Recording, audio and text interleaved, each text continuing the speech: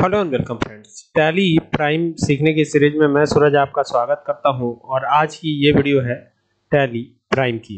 यहाँ पर देख सकते हैं, हमारे पास ये डेबुक ओपन है हमारा और अगर हमें कोई एंट्री करनी है तो आप डायरेक्टली यहाँ से तो एंट्री पास नहीं कर सकते। अब जैसे मान लीजिए अगर आप डेबुक पर हैं, जैसे कि मैं हूँ यहाँ पे तो यहाँ पर अगर आपको एंट्री पास करनी है तो आपको बाहर तो आना पड़ेगा ना। तो बाहर जब भी आना होगा तो क्या करेंगे? तो आने के लिए आप इसकेप पर प्रेस करेंगे। इसकेप यानी ईएससी का बटन प्रेस करेंगे, जो कि एकदम कीबोर्ड में ठीक ऊपर के साइड लेफ़्ट साइड में होता है। उसे प्रेस करेंगे तो बाहर आएँगे।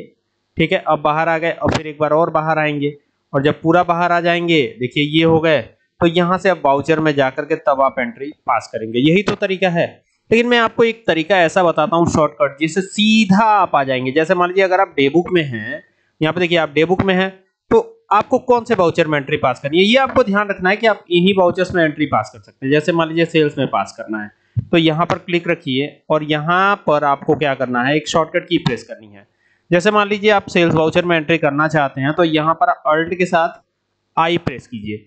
और आप सीधा कहाँ आ गए? देखिए सेल्स बाउचर में आ गए। अल्ट के साथ आई प्रेस करते ही कहाँ आ गए?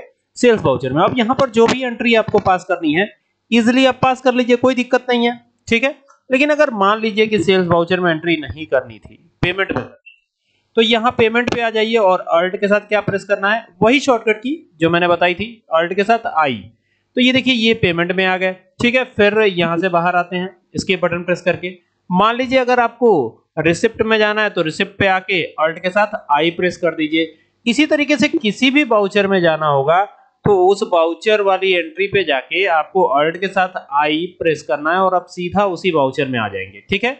उम्मीद करता हूँ बात समझ में आई होगी। शॉर्टकट है, लेकिन काफ़ी काम का है। चलिए, मिलते हैं नेक्स्ट वीडियो में। Thank you for watching this video